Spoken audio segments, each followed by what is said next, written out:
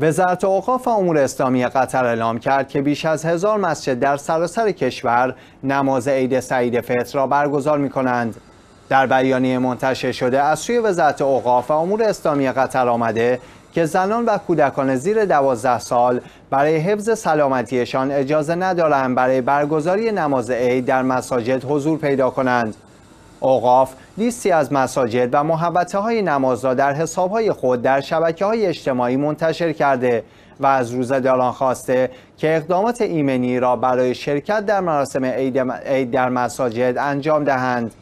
این وزارتخانه اطلاع داده که فاصله اجتماعی در مساجد قابل اجرا خواهد بود و همه اقدامات احتیاطی برای جلوگیری از شیوع ویروس کرونا انجام خواهد شد.